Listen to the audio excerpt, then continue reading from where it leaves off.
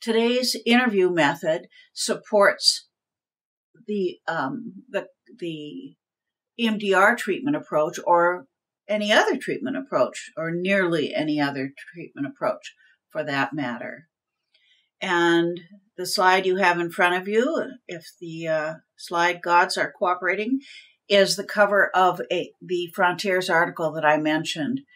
Um, Paulsen 19 or 2018 Neuroaffective Embodied Self Therapy, an integrative approach to case formulation and treatment planning for complex cases. That's uh, volume one, issue two. So, why is this topic important? Well, most of us came from particular disciplinary backgrounds. So, the various people that view this videotape will, tape will have been trained in very different ways. I was trained cognitive behaviorally at the University of Hawaii in the 80s.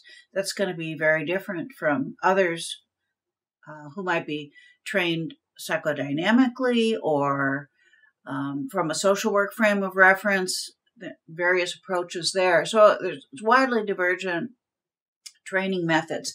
And then we all descended together on our EMDR training and adaptive information processing, which, as you know, in phase one, there's history taking, and phase two is target assessment. Well, phase two is called assessment, but it means target workup.